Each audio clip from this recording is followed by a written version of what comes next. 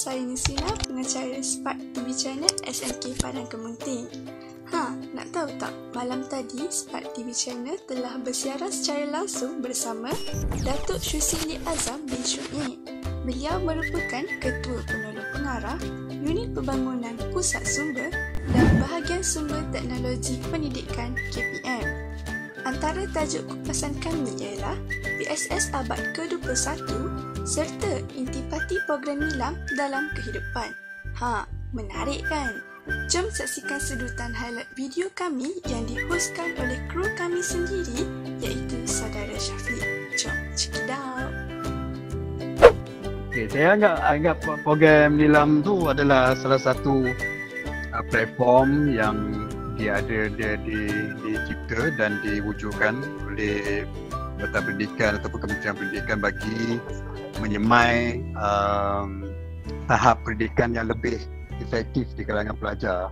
Di mana kita boleh katakan the best of the best lah, di kalangan pelajar yang akan terpilih. Jika kedua-dua ni digabungkan di PSS uh, yang uh, memainkan peranan yang begitu baik dan juga program nilam ni jika kita alignkan dia betul-betul kita akan dapat melihat hasil uh, yang sangat positif di kalangan pelajar. Syafi boleh mula? Ah, boleh mula eh? Ya. Okey. Bismillahirrahmanirrahim. Berburu-buru rusa ke tengah hutan. Saya Syafiq dari TV PSS My Spark TV channel SMK Padang Kementing, Terengganu. Pada malam ini, kita akan bersama-sama Yang Mulia Raja Hitam, penerbit Astro Awani, Encik Hairul Anwar, pegawai meja nilam dan yang berbahagia Dato' Syushilil Azam bin Syuib. Kita sedikit santai lah. Okey Dato' apa khabar Dato'? Baik, Alhamdulillah. Ah Dato' ah, Zaman 60-an dulu ya.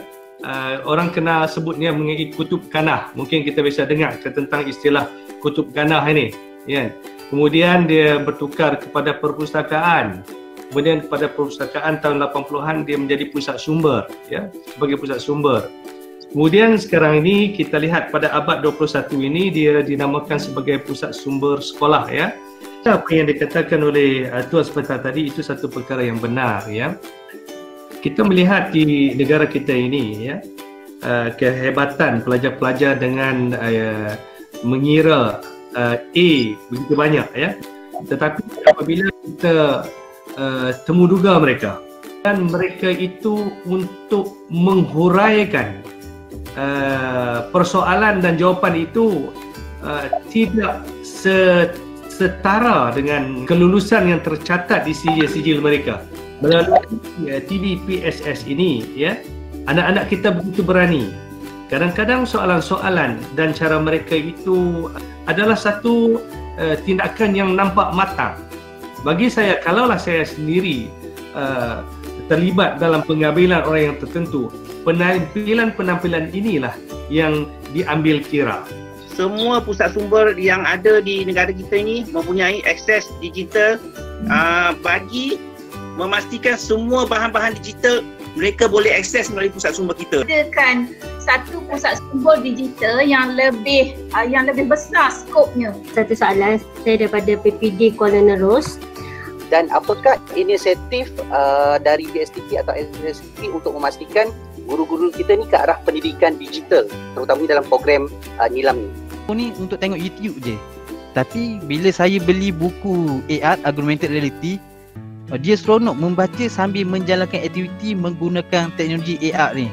Apa-apa aktiviti yang difikirkan semua ini adalah satu gabungan besar kita memartabatkan nilam eh, yang selari dalam proses PSS tadi.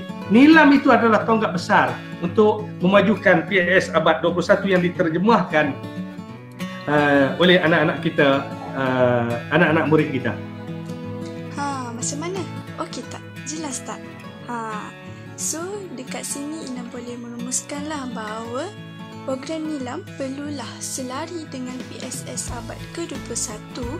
So, kalau korang nak tengok video full perkongsian semalam, bolehlah tengok di YouTube channel Spark TV channel pada malam ini.